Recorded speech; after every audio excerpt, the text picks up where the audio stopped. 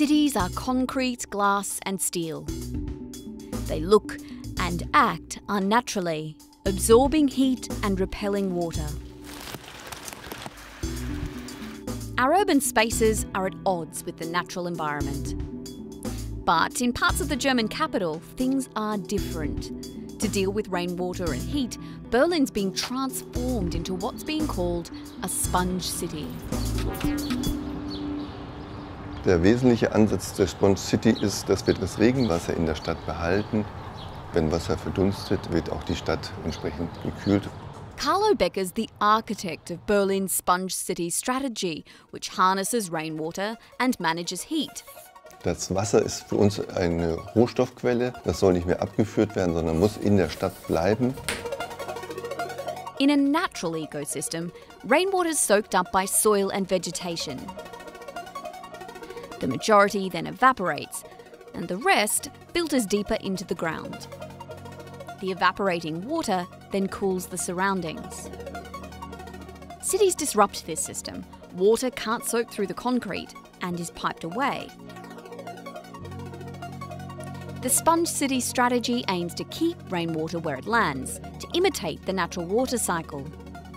Buildings are covered in green roofs and facades, and down on street level, urban wetlands and roadside trenches, known as swales, built to run off and hold water, keeping the city cool by imitating nature.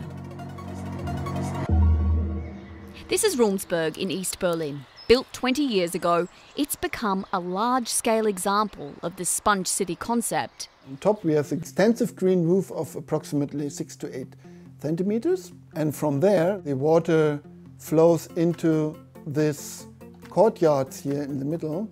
And underneath there is a garage. On top of the underground garage, we have a soil layer of almost 80 centimeters. It's like a sponge and it soaks the, the water during heavy rainfall and then it's used by the plants. So they take all the water and finally evaporate it.